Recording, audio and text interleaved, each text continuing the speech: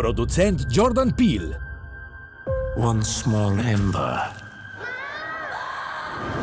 can burn down everything. In režiser Dev Patel prinašata non-stop akcijo.